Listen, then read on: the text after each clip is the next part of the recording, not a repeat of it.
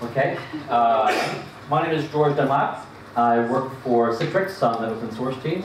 I'm a committer and I'm a maintainer, and I've actually been working on Xen for a number of years. So, and I'm going to talk about actually a little bit in answer to your question, um, some things that's going on in x86.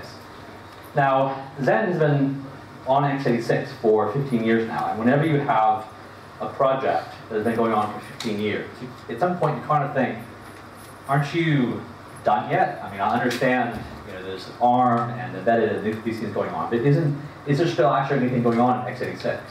And the answer is a resounding yes. We've actually had, as, as uh, Laura has said, the development of x86 has been accelerating. We've had more and more uh, submissions. So um, we got a lot of stuff, interesting stuff going on on x86 and the cloud and, and things like that. And um, I could go point and talk about each one, but I think that would be uh, pretty boring. So what I'm going to do, I'm going to talk about some things that we have done, some things that are recently finished, and those will be in green. I'm going to talk about some things that we're actively working on and should be available soon in the next couple of releases, and those are going to be in yellow. And I'm going to talk about some, some cool ideas that we have, uh, things that we've thought about, some things that we think should work, but no one has committed to actually do yet. And of course, until you actually do it, you don't know if it's going to work. So um, those are going to be in, in blue. But instead of just having a list, I'm going to try and organize them into sort of themes. So I'm going to talk about uh, um, a series of specific uh, features that uh, either we have done or are developing. And then I'm going to talk about how those work together to make, to allow very interesting things to happen. Okay, so let's start with PVH. So if you guys have been following, if anyone's been following the Xen community for a while, you know we've been talking about PVH for a long time. And the good news is, it is finally here. So we have full PVH DOM-U support as of 4.10, which was released six months ago, and uh, Linux 4.15. We even have our first backwards compatibility hack, which is uh, proof that uh, this actually is finally supported. Um, we also have experimental PVH.0 support in uh, 4.11, and we fully expect to have full PVH.0 support in uh, 4.12. So PVH, what is it? It is a next generation paravirtualization mode. So you may know that Xen has two uh, guest modes. One is PV mode, paravirtualized mode, which was written before the x86 um, uh, paravirtualization extensions were, were published. Uh, we also have HVM mode, which is for kind of legacy guest OSs, and also it has full emulation of motherboard and, and all this kind of stuff. Um, and PVH is a mode which is designed to take the best parts of both PV and HVM. So it takes advantage of uh, paravirtualized, uh, of, the, of the hardware virtualization support, uh, and yet, at the same time, there's no need for an emulated BIOS or emulated devices. Um, it has better performance than PV. Uh, it should have a lower memory overhead than HVM. And it should have better security than either PV or HVM. So we're, we're really excited about this. So the next topic I want to talk about is kconfig. Now, you guys, um, I don't need to describe kconfig in detail. It's basically the same thing as in Linux. Uh, we actually, I think we actually just took the code from Linux and popped it into uh, Xen. I, took it from 4.3. Yeah. And, uh, and I updated it to 4.8. I was going to submit a series to update it to the recent one. Right, so even we're keeping it up to date even with the, the developments inside of Linux uh, of, of kconfig. So um, go open source. So kconfig Xen, kconfig, kconfig for Xen um, allows us users to produce smaller and more secure binaries. It also makes it easier for us as a, as a community to accept experimental or partially complete uh, features because we don't have to, we can turn them off by default. We don't have to worry about affecting all of our users with including code which is uh, ex um, experimental and still being developed. Now, because it's been added in quite late, there's a number of, we're slowly working in things which you can disable or enable or, configure by kconfig. One of the things that we're working on doing is having a kconfig option to disable the PV mode entirely. PV mode has been there since the very beginning, so as you can imagine, its tendrils are kind of spread throughout the whole code base. So we're slowly moving things, all the specific PV code, into a separate section so that we can disable it. Um, that's, that's actively in development, and in the near future we should be able to, uh, should, to do that. The next feature I want to talk about is, oh, this is very dark, isn't it? Anyway, is PV shim. Uh, so, as you may know, there are some older kernels, classic Xen kernels, which will, will only run in uh, Ring 1. They expect to run in PV mode. Um, and some older versions of distros, uh, RHEL 5 or older versions of SUSE, uh, have such kernels in them. So they, uh, how do you support these kinds of systems? Well, the answer is uh, PV shim. So a shim is a build of Xen that is designed to allow uh, a, an unmodified classic PV guest to run in PVH mode. So difficult to see here. So that we have Xen at the bottom, we have a PVH guest, and inside of the PVH guest, we have another copy of Xen, a shim copy of Xen, which is designed specifically only to allow the PV-only kernel to run in Ring 1. And because it's built from the exact same source code, it is bug for bug compatible with the, the, the hypervisor version of Xen, um, and it will continue to be going forward. And it's actually, it's quite easy to set up and use. So if you download 411 and just build it, then you will, um, by default, you'll get a shim built. And in your config, you just say type equals PVH, PV shim equals one, and you'll have uh, a working PV shim system. And of course, what all these things together allow us to do is to build a cloud-ready you know, hypervisor that you can actually build a cloud from that has no PV support at all in it. Um, this means the code base is smaller, you have more savings. Um, it means the surface of attack is smaller, which means it's uh, better for security. Um, and uh, on top of that, but we're not kind of done yet. Because there's another kind of cool idea that we haven't actually we haven't actually started implementing. No one is committed to implement yet. Um, but we've been throwing it around for a while, and we think it's actually going to work. And that is running Windows in PVH mode. So we already have EFI support in PVH, and Windows running on EFI, uh, versions of Windows which are capable of running EFI, don't actually need direct support from, uh, from the hardware, as far as we can tell. So the, the virtual EFI implementation already has, will already run in PVH mode. It already has support for the Xen PV disk and PV network. The only thing that is missing, as far as we can tell, for Windows is uh, some sort of a frame buffer. Uh, so Windows it, it, wants to have graphics virtualization. It doesn't like having only a console. But we think that if we implement PV frame buffer support inside of EFI, it's possible that you'll be able to run Windows um, unmodified inside a PVH guest. And what that buys you is one guest type to rule them all. You could, you could build a cloud or build a, a, a server consolidation system that only had a single type of guest, PVH. Um, there's lots of advantages to, uh, to this sort of thing. And presumably that's not Right, so if, if all your guests are QEMU, uh, sorry, if all your guests are PVH, um, then you you won't have any you, you won't have any QEMU device emulation.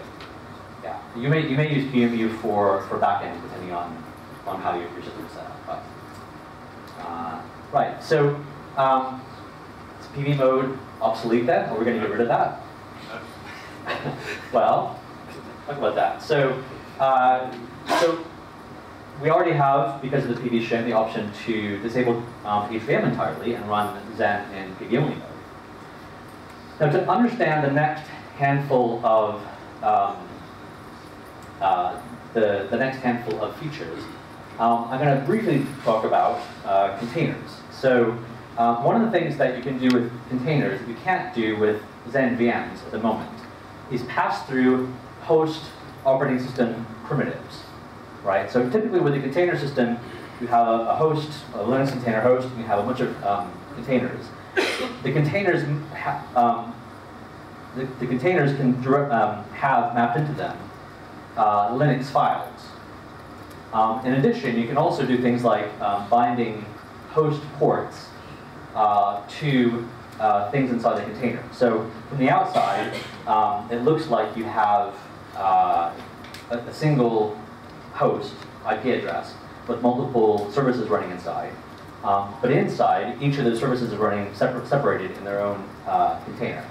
Now this has a bunch of advantages. Uh, for one thing, the file-based differences, um, it allows you to track the differences in the containers based on the files rather than on the blocks, which is a lot more um, efficient and effective.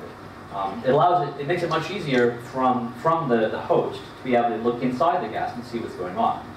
Um, it also makes it easy to set up, easier to set up multiple isolated services uh, without needing to actually mess around with a little internal private network and network forwarding and, and all this stuff. So one of the features which has been implemented is um, PV 9pfs. So 9pfs is a way of sharing files uh, directly. And PV 9pfs, um, it's a normal Xen front-end and back-end. And what it allows you to do is to pass specific files from a host file system, or from the DOM0 file system, and expose them to the guests. Okay, so um, just like you can pass through files in containers. Um, the next feature is something called PV calls. And uh, PV calls allows you to pass, to execute specific system calls from the, uh, pass them through from the, um, the guest onto DOM0. And the first, the, the system calls which have been implemented uh, already are specific to allowing you to bind host ports. So we have socket, listen, accept, read, write, this sort of thing. And so what this allows you to do is to have host ports on DOM0 be exposed to, uh, to um, virtual machines. The next feature is Rocket Stage 1. And, and I'm told that actually this is slightly uh, um, a little bit obsolete now because CoreOS has, has deprecated Rocket. Um, but this, the basic idea is, is here. Um, so,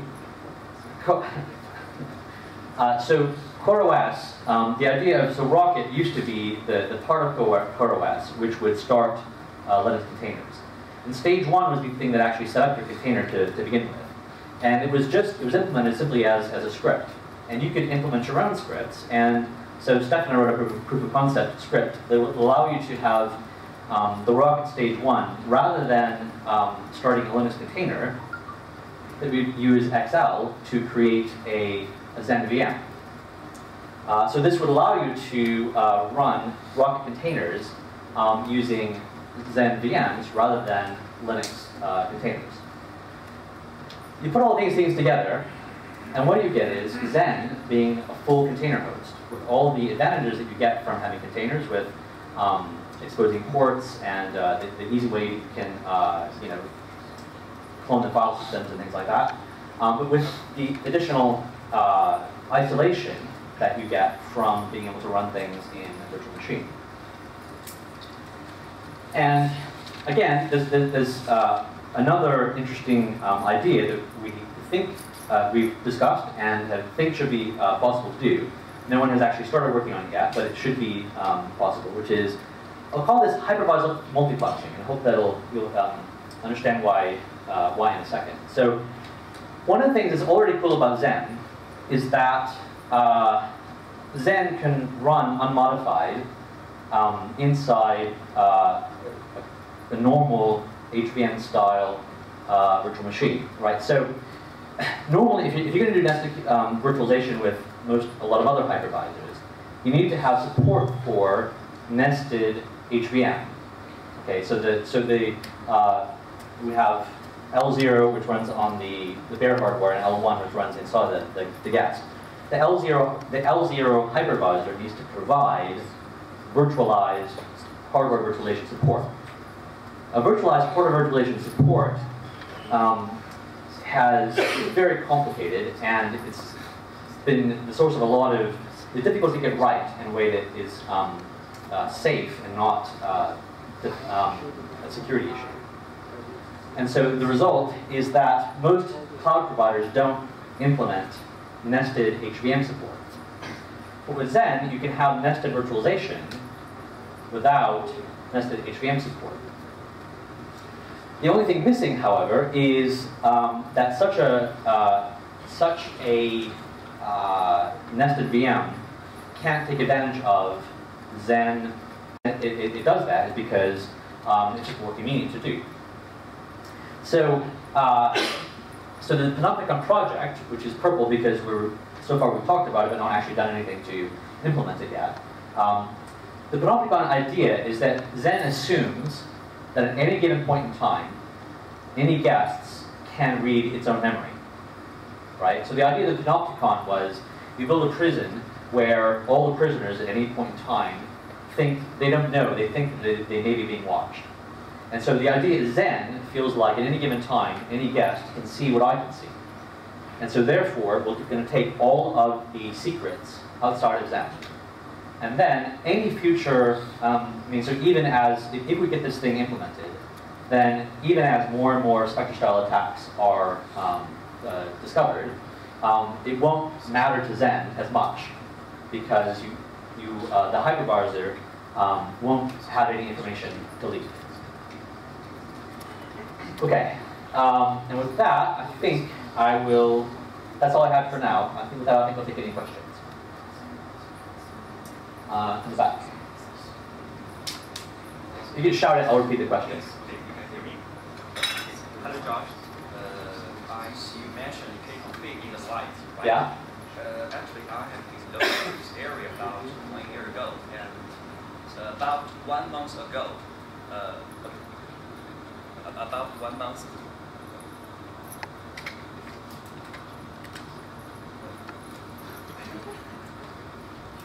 Oh, okay. About one month ago, I started to uh, dig into the key config of them, mm -hmm. and I found it is pretty out to date now. Um, and so you mean the, the code is out of date, or sorry, yeah, what do you mean? Yeah, the code of key config, all code related to key config is in. And uh, okay, so just to, to, briefly answer that question, um, uh, Doug has said that he's he's working on porting over the updates. So uh, yes, you mean you have planned to synchronize the config in Linux? The, Doug said that he'll do that, yeah. Ah, yes, yes. Okay. Actually, that's my question. Yeah. Thank you. Okay. Oh, sorry. Okay, I didn't mean to interrupt. Okay, so um, Doug says that he's going to, to pull in the changes up to 415. Uh, yeah, I see. Thank you. When I get okay. Well, wait, when he, when he gets out. Okay.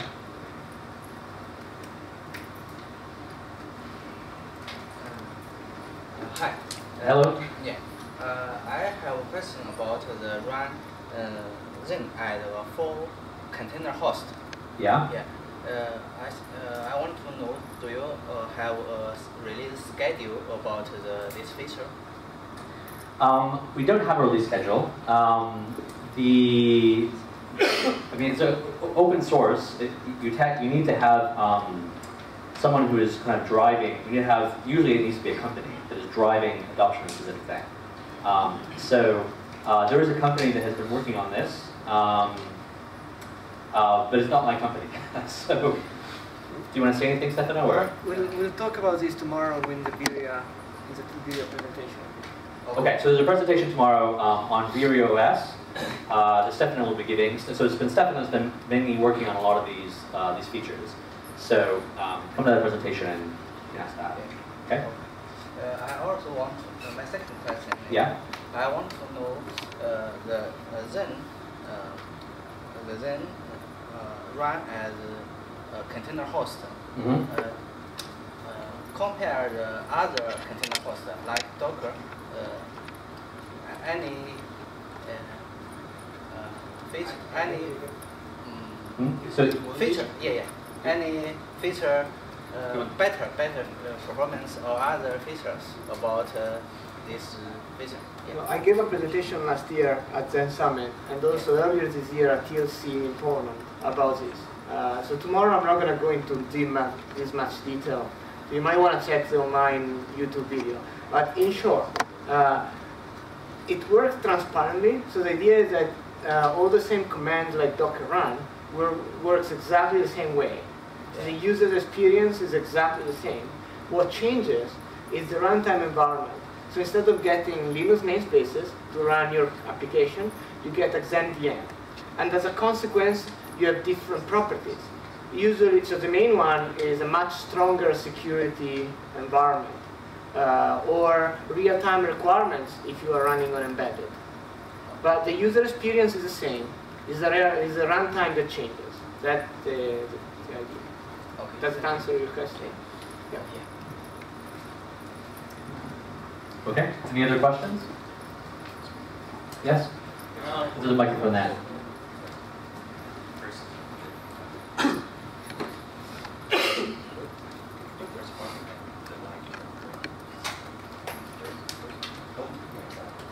Ah, perfect. Um, about this panopticon idea, um, can you give a short um, like uh, idea of so what do you think the Xen hypervisor would actually have to see and what roadblocks would you see to, to implementing that? But I also see that there's a talk that has the keyword in the name, so maybe the short answer is wait until that talk. Yes, if you want the details of that, I think, um, yeah, the, the, the waiting for the talk is, is the best. All right, so Yeah. so you will give a bit more details about what you Yeah. what you okay. But the, the, the short answer is, Design session.